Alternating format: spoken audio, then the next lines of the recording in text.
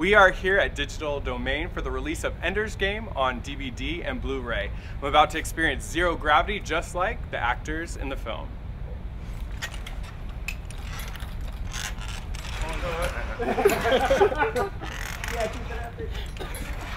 This is not me trying to do it now.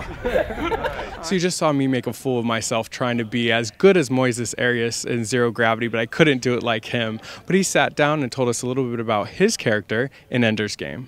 I would definitely say my character Bonzo has a little uh, anger in him. Uh, I really think it's, you know, uh, kind of hidden fear. That's that's really all uh, Bonzo is driven by. So the psychology of the character is uh, kind of intricate, and, and it was a lot of fun just kind of creating that character and, and really becoming, you know, the, the embodiment of, of what people would think Bonzo would be from reading the book or from, uh, you know, maybe having any preconception on uh, what a bully should look like. The chemistry was great on set, and Moises Arias tells us what it was like working with Fil-Am actress Hailee Steinfeld.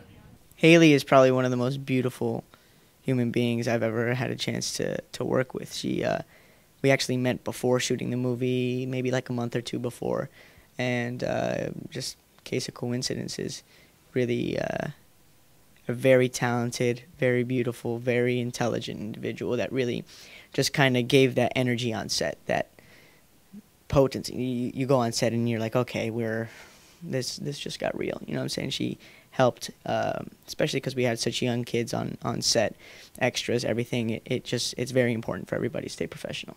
February 11th is the DVD and Blu-ray release of Ender's Game, and Moises tells us why you have to go pick it up. You should pick up Ender's Game, guys, because it is an eventful experience. Not only that, you get to see this beautiful face.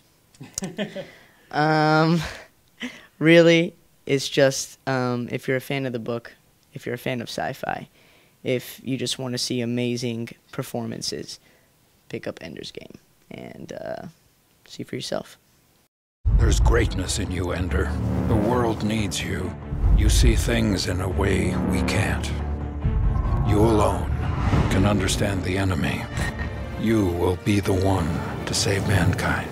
If you succeed, you will be remembered as a hero, and you'll be the finest commander we've ever trained.